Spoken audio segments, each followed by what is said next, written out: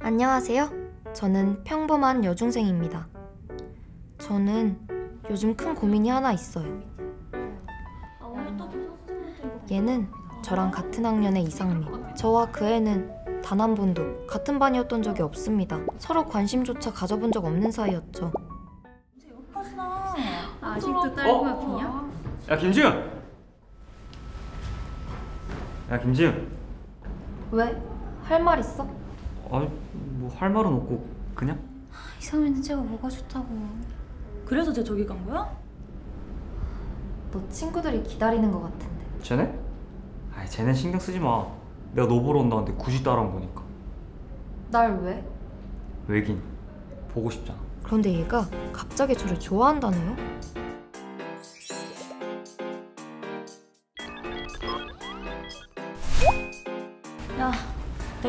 배고픈데 매점이나 가자 야 이상민 어 잠만 야 너도 같이 매점 가자 싫어. 너 친구들이랑 가. 어 그래 어, 나중에 또 보자 안녕 전 아직도 이유를 모르겠습니다. 별로 접점도 없었거든요. 어느 날부터 이렇게 대놓고 티내기 시작했어요. 중3이 끝나가는 이 시기에 말이죠.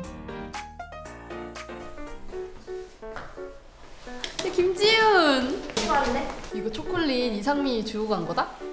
좋겠다. 좋기는. 그 애가 그렇게 별로냐고요? 그런 문제가 아니에요. 이상민은 원래부터 유명해요. 여사친 많고 여자도 수두룩하기로. 좋아하는 애가 생기면 바로 고백하고 받아주면 사귀고 안 받아주면 뒤에서 씹고 다니는 딱 일진 그 자체죠.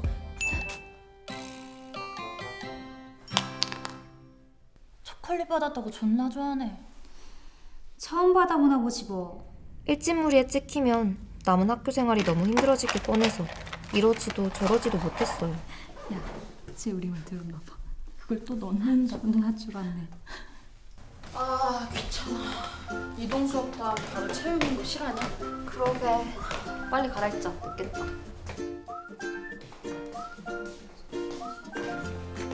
야 김지은 뭐야? 아 미안 너 다음 체육이지? 내 거 꼭 입어라 야, 둘이 뭐야? 뭐야, 둘이? 짜증나. 그래. 야, 근데 이상민 걔는 아직도 찝쩍거리더라. 이렇게 된 김에 둘이 한번 만나보는 건 어때? 걔 잘생겼잖아. 좋아하는 마음 1도 없는데 어떻게 그래? 그냥 엮이는 것 자체가 싫다고. 친구들은 그래도 잘해주는 거 설레지 않냐고 하는데요. 전혀요.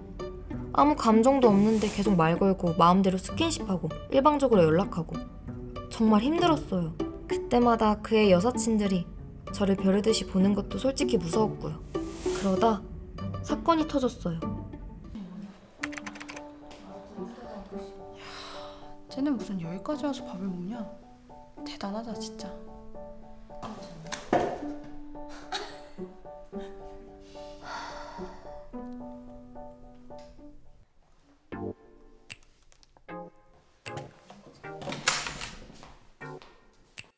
야 너 해라 뭐야? 특별히 주는 거다 너니까 그리고 내가 할 말이 있는데 또 뭐? 바나나를 주면 나한테 바나나? 뭐? 야 우리 사귈래? 이때 분위기가 어땠냐면요. 최악이었어요. 공개 고백이나 다름없었거든요. 셋을 동안 대답해라 나 인기 많다 하나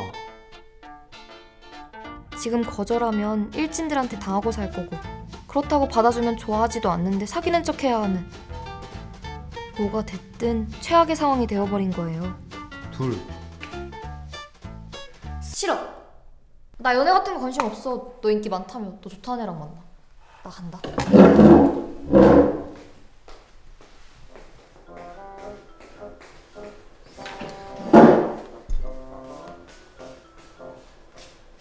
고백 사건 이후로도 제가 걔를 찾다는 건 모르는 사람이 없었고 이번에는 교내 일진들의 타겟이 됐죠.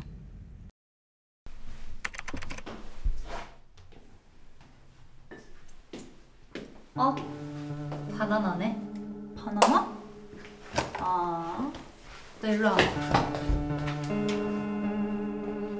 원영, 너 1학년 때 쟤랑 같은 반이지 않았어?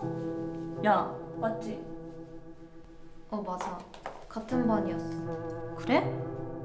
존재감 없어서 몰랐지. 아 맞다. 친구야, 연애에 관심 없다는 건 좀 괜찮아? 너 그러다 못살로 죽어. 머리 핀 꽂고 다니는 것 봐. 진짜 촌스럽다. 야, 너 이상민 창고 떠벌리고 다닌다며. 잘 나가는 애 차니까 네가 뭐라도 된 거 같지? 나 그렇게 말하고 다닌 적 없어. 와, 존나 무섭다. 왜 째려보는 것 좀 봐봐. 고백 처음 받아봐서 신난 건 알겠는데 그만 좀 나대자. 어? 소문내고 다니는 거 존나 꼴 보기 싫으니까.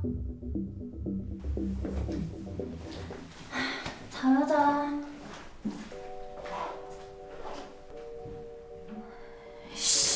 나 말하고 다닌 적 없다니까. 그나마 제가 버틸 수 있었던 힘은 곧 졸업이라는 사실. 그것뿐이었죠. 이렇게 악몽 같던 중3 겨울을 겨우겨우 보내고 드디어 졸업! 하나 했는데 너 그거 들었어? 뭘? 이상민도 우리랑 같은 루디오 간대. 뭐라고? 어? 너 몰랐어? 응, 걔가 너 따라가는 거 아니야? 난 그렇게 알고 있었는데. 나 어떡해. 야, 이제 별로 신경 쓰지 마. 중학교를 졸업해도 그 애한테서 졸업하는 건 아니더라고요. 이 끔찍한 학교 생활을 고등학교 때까지 계속 해야 하는 걸까요? 여러분이라면 어떻게 할지 알려주세요.